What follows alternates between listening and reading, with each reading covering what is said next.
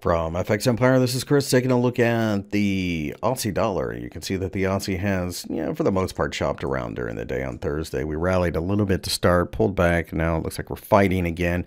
I think the takeaway here is 0.74.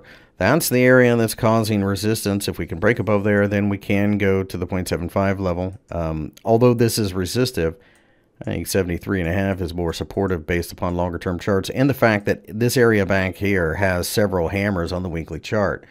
So I like the idea of buying dips in this pair. Remember though, trade war talks will continue to work against the Aussie because it's this uh, Australia is a supplier of hard uh, commodities to Asia, which of course is influenced by trade war. But really, at this point, I think we are in a supply or a demand area.